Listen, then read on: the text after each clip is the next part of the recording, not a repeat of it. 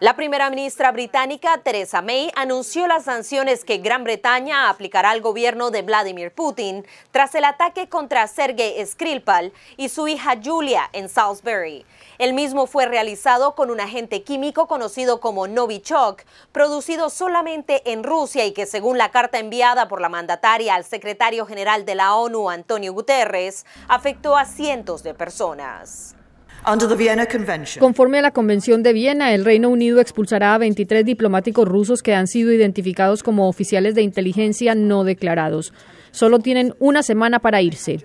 Gran Bretaña pidió una reunión de emergencia del Consejo de Seguridad, donde según esta carta enviada por May, Rusia debe inmediatamente presentar detalles completos de su programa de Novichok a la Organización de Prohibición de Armas Químicas.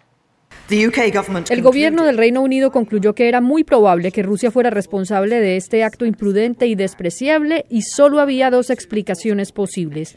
O bien este fue un acto directo del Estado ruso contra nuestro país, ¿O es posible que el gobierno ruso haya perdido el control de un agente neurotóxico de grado militar y permita que llegue a manos de otros? Acusaciones que Rusia ha negado rotundamente.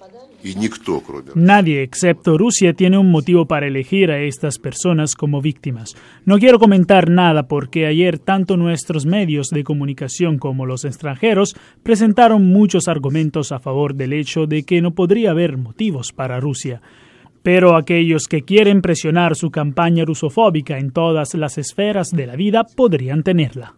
El portavoz del secretario general de la ONU dejó clara la posición de Antonio Guterres.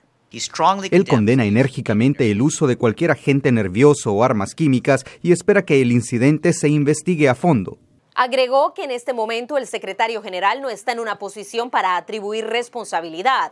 Mientras tanto, miembros del Consejo de Seguridad, como el embajador de Guinea Ecuatorial, Anatolio Endong, escucharon el reporte del Reino Unido. Si se llega a, efectivamente a verificar quién es el responsable, con pruebas irrefutables, eh, yo creo que había que poner fin a tal tipo de actuaciones. Celia Mendoza, Voz de América, Naciones Unidas.